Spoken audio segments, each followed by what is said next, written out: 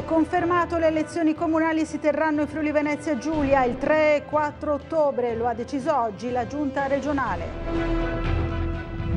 E la campagna elettorale entra nel vivo, presentata la squadra e il programma della lista di piazza. Pino Roveredo in campo con punto franco di Russo.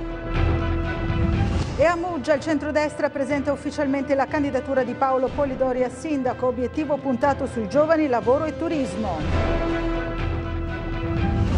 Mille test salivari al giorno negli istituti Sentinella, oltre al potenziamento del trasporto pubblico locale, la strategia della Regione per il rientro a scuola.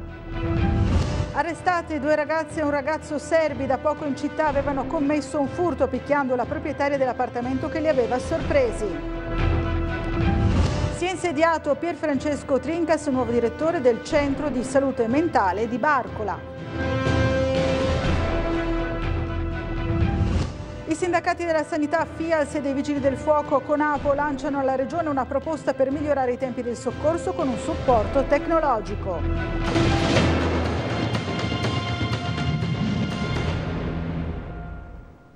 Buonasera dal telegiornale di Tele4 e dunque confermato le elezioni comunali e le elezioni amministrative si terranno in Friuli Venezia Giulia i prossimi 3 e 4 ottobre. La decisione è stata presa dalla giunta regionale ed è stata comunicata nel pomeriggio di oggi. Vediamo il servizio.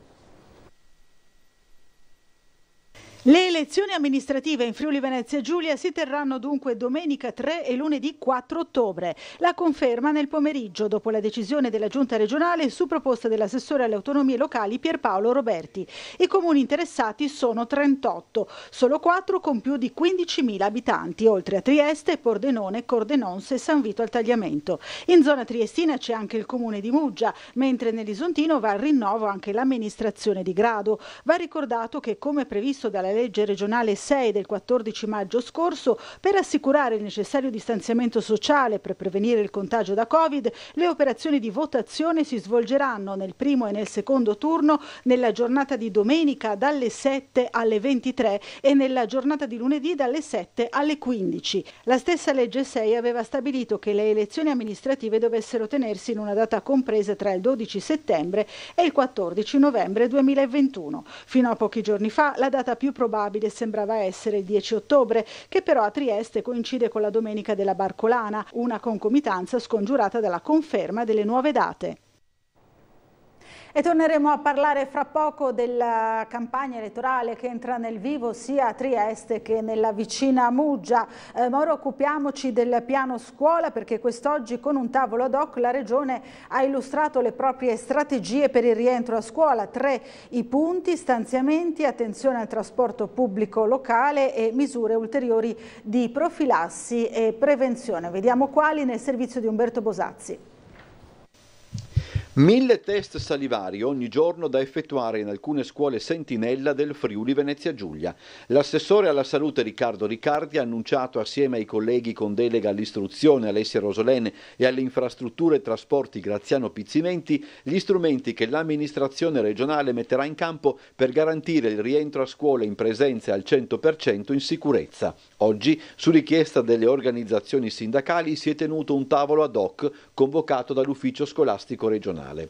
Per la fase di ripartenza, ha affermato Rosolene, i 3 milioni di euro stanziati con l'assestamento di bilancio faranno fronte alle carenze di organico e alle emergenze didattico-organizzative. In tal senso verrà siglato un protocollo che terrà conto anche delle istanze sindacali e che andrà ad incrementare i fondi destinati alla scuola digitale. Per quanto concerne invece il trasporto pubblico locale, l'assessore Pizzimenti ha assicurato l'impegno della Regione per rispettare la capienza a bordo dell'80%, ma anche per fronteggiarne un'eventuale riduzione legata ad un ipotetico aumento dei contagi.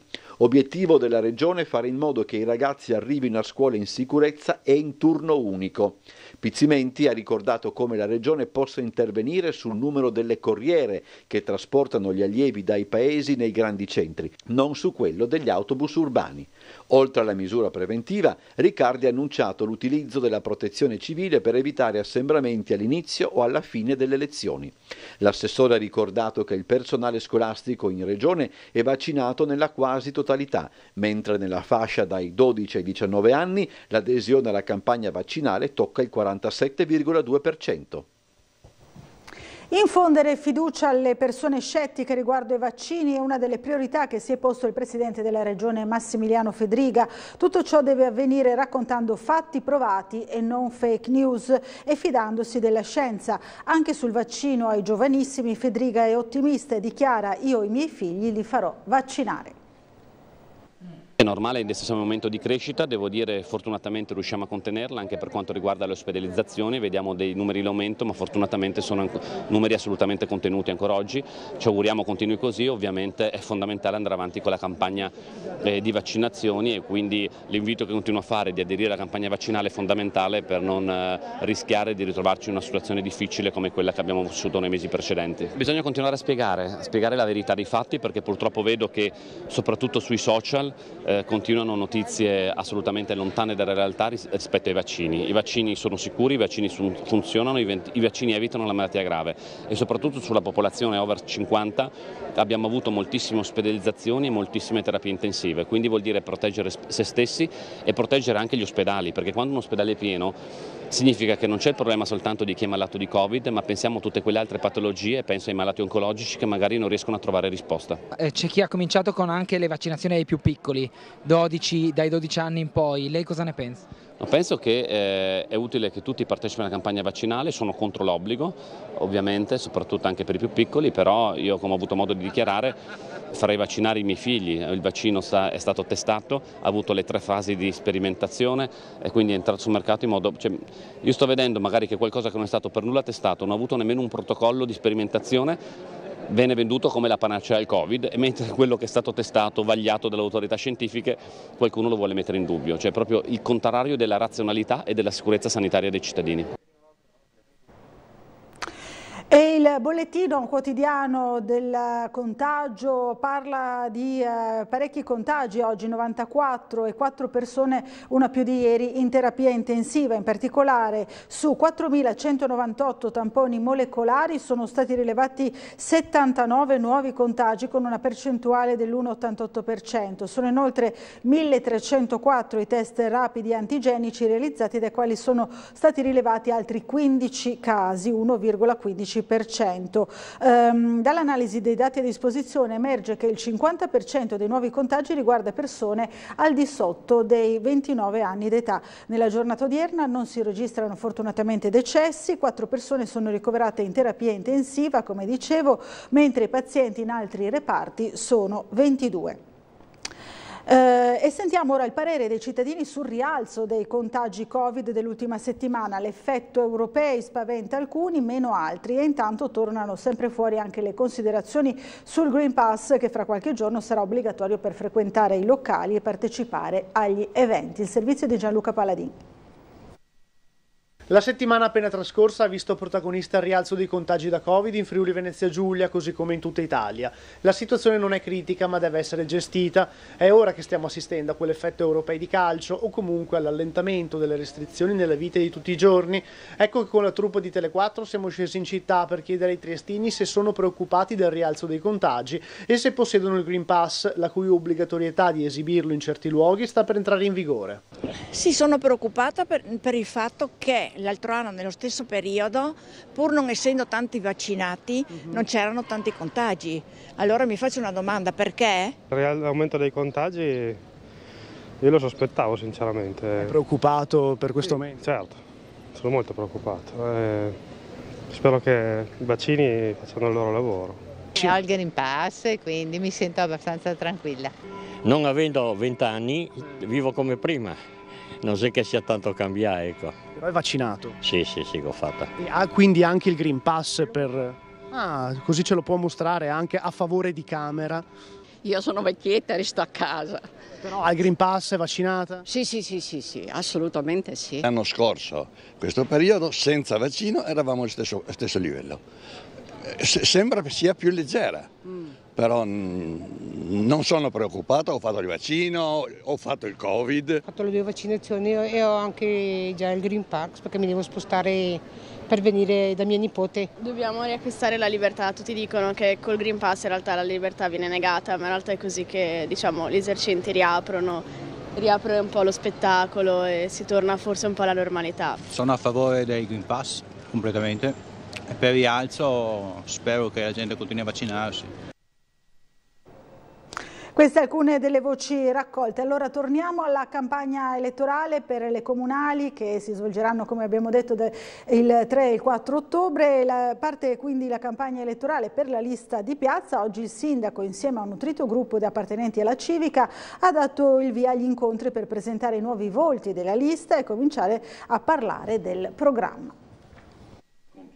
La lista di piazza avvia la propria campagna elettorale iniziando a presentare la squadra che concorrerà alle elezioni comunali. Il sindaco, l'assessore Rossi in qualità di presidente della lista, consiglieri e assessori della civica, nonché altri volti nuovi o consolidati hanno preso parte alla conferenza, ma i riflettori sono stati puntati su Massimo Tognolli, direttore private banking di un grosso istituto bancario, violinista e giornalista, che apporterà la sua esperienza e le sue idee al gruppo. Io sono un direttore per professione, eh, giornalista e violinista per passione, con con il rigore dei numeri nella mente ma con la musica e la cultura nel cuore.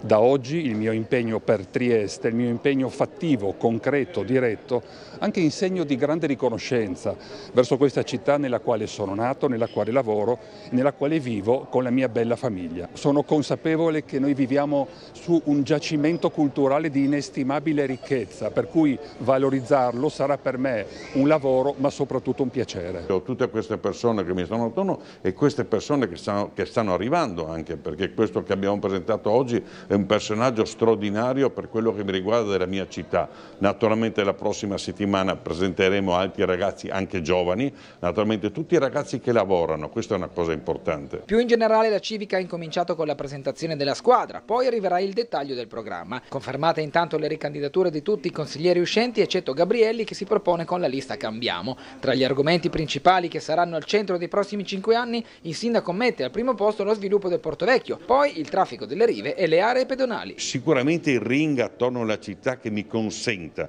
di chiudere sempre di più il traffico per quanto riguarda il borgo teresiano e il borgo giuseppino. Ti ricordo il Porto Vecchio dove abbiamo delle risorse importantissime e dove eh, sta arrivando Consuega che ha presentato un progetto da 480 tavole dove Kipa ha rappresentato un progetto straordinario e naturalmente il Porto Vecchio Vecchio è sicuramente la, la chiave di volta del futuro della città. Di dare un contributo alla mia città. Alle periferie e al disagio che vi si annida è la priorità dello scrittore Pino Roveredo che è candidato nella lista Punto Franco con Francesco Russo. Vediamo. Ho scelto di entrare per la prima volta nonostante parecchie richieste avute eh, perché conosco Francesco molto bene, ci conosciamo da molti anni, eh, ci lega una grande amicizia ma soprattutto conosco la sua serietà. Eh, e allora per non lanciarmi nel vuoto mi lancio nella insicurezza e, e ho scelto questa, questa candidatura. Dai. Mm. E lo scrittore triestino Pino Roveredo, l'ultimo acquisto della squadra di Punto Franco di Francesco Russo. Alla presentazione, con tanto diritto ormai immancabile, della maglietta nel nuovo sito elettorale all'aperto di via Santa Caterina, Roveredo ha spiegato che ciò che manca a Trieste è l'attenzione a quelli che ha definito gli ultimi in classifica. Per rimediare, questa è la ricetta dello scrittore Premio Campiello, da sempre in prima linea nel sociale a favore degli emarginati di portare le periferie al centro dell'attenzione. Eh, oggi, ahimè, le periferie sono abbastanza trascurate, eh, sembra che tutto si svolga nel salotto buono della città, il centro, e che la periferia non, non abbia una vita, non abbia una storia, e invece lì ci sono storie straordinarie. Un grande onore, un piacere avere uno scrittore come lui, una persona che ha comunque sempre scelto di rimanere con i piedi ben piantati nelle sue radici, nei quartieri popolari che conosce bene. E nell'occasione lo stesso Francesco Russo ha voluto replicare alla Lega regionale che lo aveva attaccato per non aver votato il suo emendamento sulla piscina terapeutica. Sì, si sono dimenticati che ho fatto ben tre emendamenti sulla piscina terapeutica negli ultimi due anni. Loro me li hanno bocciati tutti, poi ne hanno presentato un altro. Io ho votato contro per un semplice motivo, non c'è scritto su quell'emendamento che quei soldi vanno a una piscina terapeutica di tipo sociale che è quella che stanno chiedendo 10.000 persone con le loro firme. Il rischio è che vadano per un'ennesima piscina ludico-sportiva. E poi voglio far notare una cosa ai triestini. Nello stesso giorno in quell'emendamento c'erano 5 milioni e 300 mila euro per il municipio di un piccolo comune di mille abitanti come Forni di Sopra.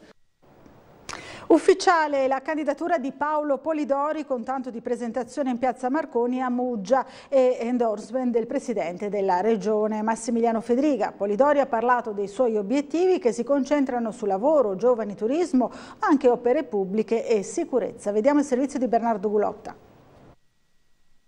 Mettersi in gioco intanto per fare, per fare, il sindaco, come ha detto Massimiliano, non è, cosa, non è una cosa facile, bisogna crederci, bisogna avere la forza di portare avanti le proprie idee, i progetti ce li abbiamo come tutto il centrodestra, siamo gente che ha voglia di fare, quindi non gente che ha voglia di eh, fare progetti che poi non stanno sul territorio. Il centrodestra muggesano è ufficialmente il proprio candidato sindaco, nessuna sorpresa nel vedere Paolo Polidori come volto di testa poi la sfida elettorale nella cittadina rivierasca, così come non stupisce vedere una forte rappresentanza del centrodestra e soprattutto della Lega, presente oggi in primis il presidente della regione Federica nell'appoggiare la figura di Polidori. Turismo, giovani, occupazione, lavori pubblici fra gli spunti del candidato leghista. Ma parlando in generale c'è un gran bisogno di dare una risposta al futuro di Muggia per quanto riguarda la parte lavorativa, la parte relativa ai giovani, soprattutto i giovani nella fascia di età adolescenziale, diciamo finite le medie perché c'è un grosso problema di dare spazi e futuro ai giovani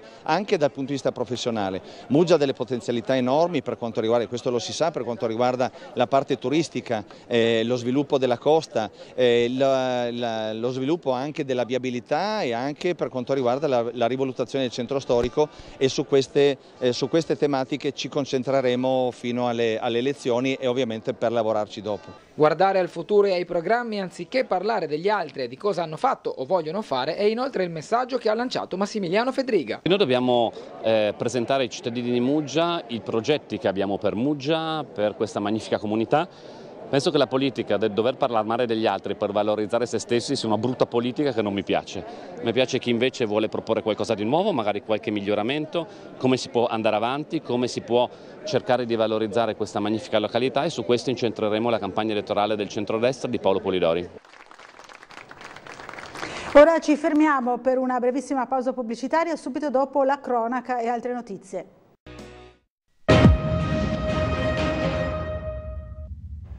Riprendiamo con la cronaca. Un uomo di 65 anni, Pierpaolo Morello, originario di Maiano, è morto nel pomeriggio di oggi mentre stava nuotando davanti alla spiaggia del Banco d'Orio nella laguna di Grado. Sarebbe stato eh, fatale un malore che l'ha eh, colpito al cuore. Purtroppo sono stati vani i soccorsi.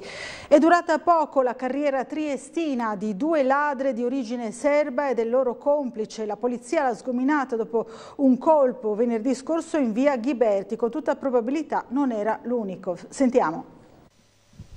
Due ragazze formalmente residenti in Lazio ed un ragazzo senza fissa dimora, tutti di origine serba, giunti a Trieste pochi giorni fa, preso alloggio in un bed and breakfast che utilizzavano come base, sono stati arrestati. Su di loro il sospetto di rapina e furto.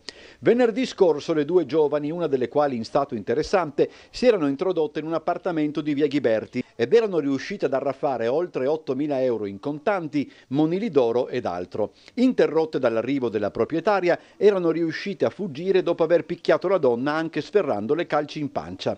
Le indagini sono scattate immediatamente il giorno dopo, le due ladre erano state individuate mentre si aggiravano in centro. Fra l'altro erano entrate in uno stabile di via Roma dal quale poi erano uscite furtivamente. Fermate ed identificate, quindi sottoposte a controllo, il PM di turno aveva emesso un decreto di perquisizione in seguito al quale, nella stanza dove alloggiavano e dove era presente il terzo complice, Venivano rinvenuti, nascosti nelle valigie, contanti anche in valuta straniera, monili d'oro, cellulari ed altro, provente di furti e rapine. Parte della refurtiva è stata riconosciuta dalla donna vittima del colpo del giorno prima, tanto che si ritiene che la gang abbia consumato altri furti.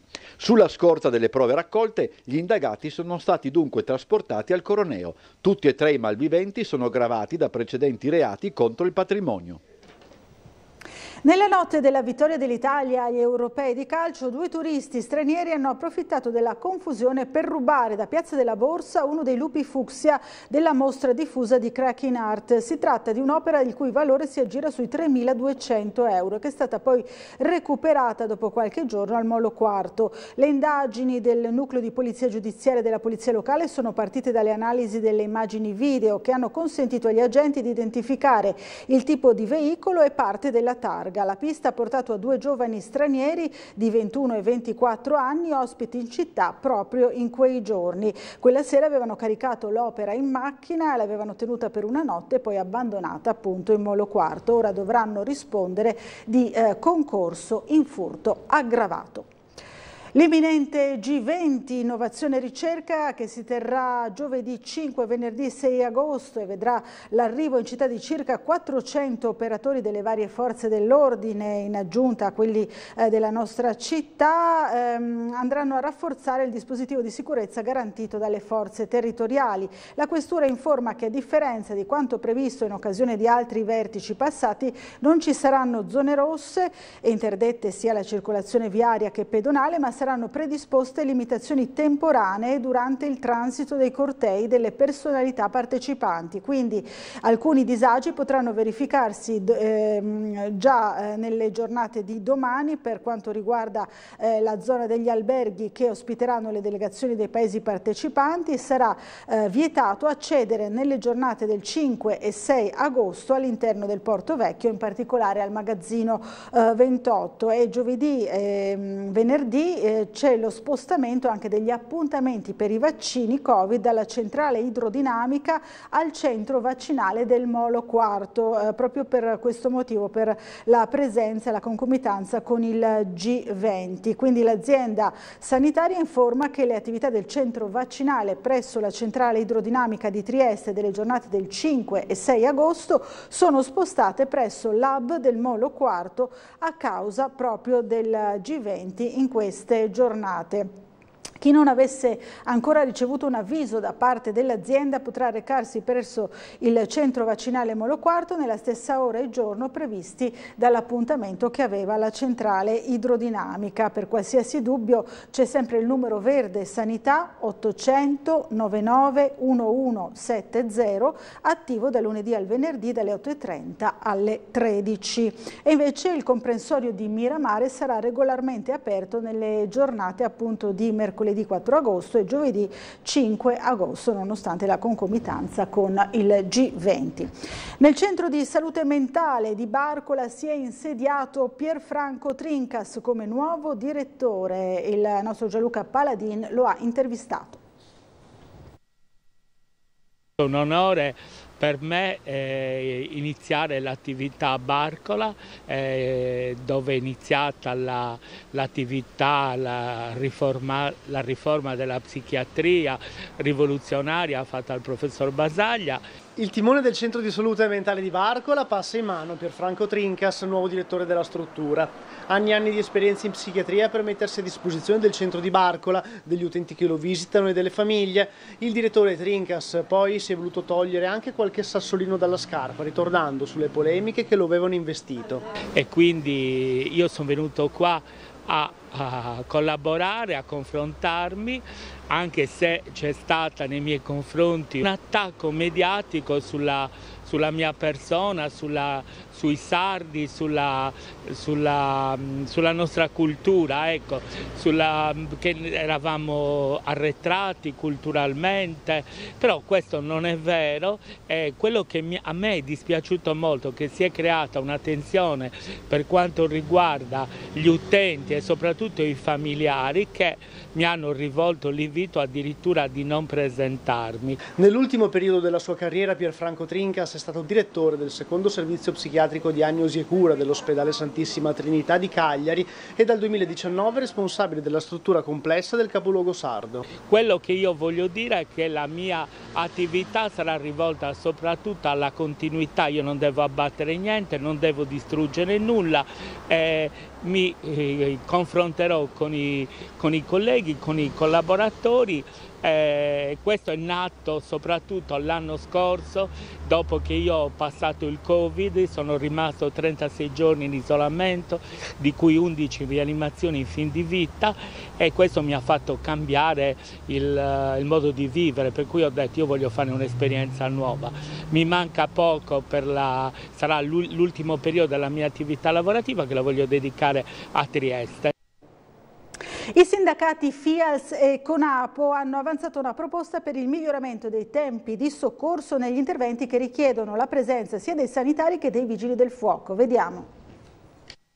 Migliorare attraverso un supporto tecnologico i tempi del soccorso negli interventi che richiedono la presenza sia di personale sanitario che dei vigili del fuoco. È la proposta illustrata oggi dai vertici dei sindacati FIALS e Conapo, un'idea già presentata al presidente della regione Fedriga e al vice Riccardi, che prevede in sostanza una modifica al sistema informatico della Sores per migliorare l'operatività e le tempistiche di intervento nei casi di richiesta di soccorso.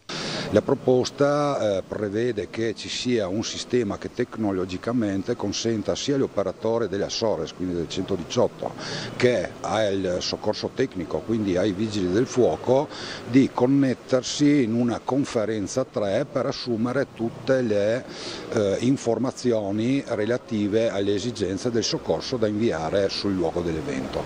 Questa proposta mira a migliorare i tempi di risposta dei soccorsi in Friuli Venezia Giulia. Noi chiediamo sostanzialmente che ci sia più interconnessione fra la sala operativa del 118 e quella dei Vigili del Fuoco, in modo da migliorare la risposta in questa regione, che attualmente non è al massimo livello. La richiesta, ha spiegato il segretario Potocznik, esula dalla riforma del sistema del soccorso regionale di cui la FIALS è promotrice. Non vuole entrare nel merito della riorganizzazione complessiva delle centrali operative che rimane il nostro obiettivo di riportarle alle tre centrali eh, di area vasta o provinciali come come era eh, qualche tempo fa che funzionava sicuramente meglio. Queste, questa proposta va nella direzione di eh, ma mantenere un servizio più eh, rapido e più tempestivo nel, nei momenti di soccorso. Il sindacato dei vigili del fuoco Conapo inoltre avanza un'altra richiesta alla regione riguardante gli incendi boschivi, tema di grande attualità. Bisogna che la regione eh, faccia questa convenzione eh, con il Corpo Nazionale Vigili del Fuoco, molto importante. Questa convenzione darebbe la possibilità di avere 5 unità in più di Vigili del Fuoco e per non eh, creare disagio eh, avere meno personale nelle caserme. Questo, questo darebbe una squadra in più per supportare questo tipo di intervento. Continuano con un buon riscontro dei cittadini le iniziative del Comune in Movimento dedicate all'alfabetizzazione digitale. Oggi tappa in Piazza della Borsa con le poste italiane. Vediamo. L'obiettivo principale della giunta di piazza è quello di stare vicino ai cittadini. Continuiamo a farlo quest'oggi eh, cercando di divulgare conoscenza e consapevolezza sui temi del digitale e sui servizi legati al mondo dell'innovazione, oggi più che mai necessari. L'utilizzo attraverso il digitale dei principali servizi di uffici e amministrazioni comporta una serie di vantaggi per i cittadini che sempre di più si rivolgono al mezzo informatico. Alla richiesta di informazione e alfabetizzazione digitale risponde l'iniziativa Comune in Movimento che oggi con l'ufficio mobile ha fatto tappa in Piazza della Borsa. Tappa speciale anche perché insieme all'assessore all'innovazione Francesca De Santis, al personale tecnico del Comune e di Insiel erano presenti anche le poste italiane per promuovere i nuovi servizi digitali. Insieme a noi quest'oggi c'è Poste Italiane che ha voluto supportare sin da subito con grande entusiasmo questo progetto e spiegherà a tutti i cittadini la necessità e l'importanza di avere la propria identità digitale, lo SPID.